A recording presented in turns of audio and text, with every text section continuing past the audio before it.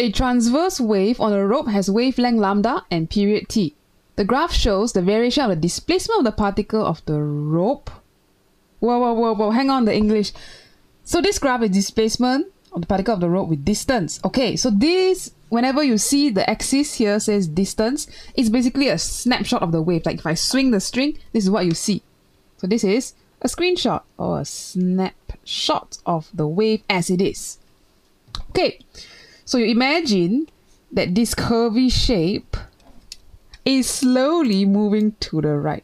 Right. Ah, slowly moving to the right like that. It's moving and moving and moving. Okay. So what we need to find is on this wave, there's a particle x right here. Which graph shows the variation of the displacement of particle x with time t? Oh man. Okay. Let's do some animation here.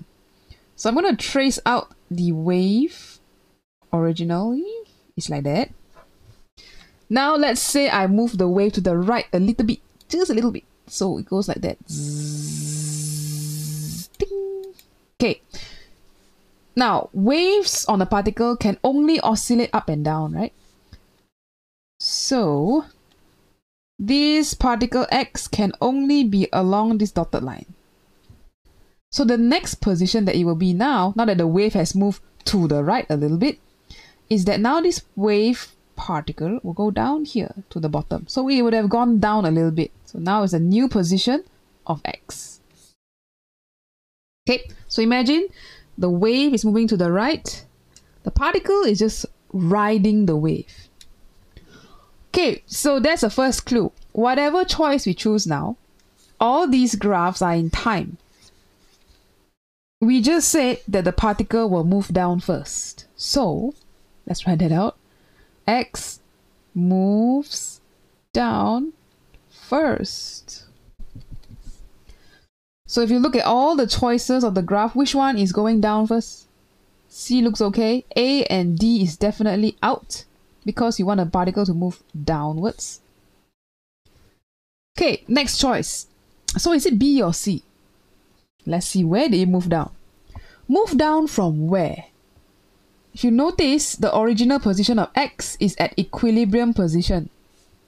So I should clarify here, it moves down first from where? Where do you start off? Equilibrium position.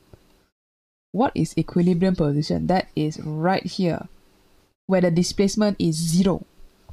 So this is the final clue downwards from equilibrium. So let's look at our choices here. Hmm, downwards from equilibrium is this one here. Okay, you're going to start from equilibrium and then the particle moves down. So best choice here we go with is C. B is not correct because you see where we start off, we're at some amplitude maximum displacement there. Okay, so remember there are two graphs that you must know in waves. One is in terms of distance, one is in terms of time displacement against time. And if we were to put them side by side like this, the one on top is displacement, distance. Down here is displacement, time. So if you look at the orange wave on the top, it's just the orange wave moving to the right.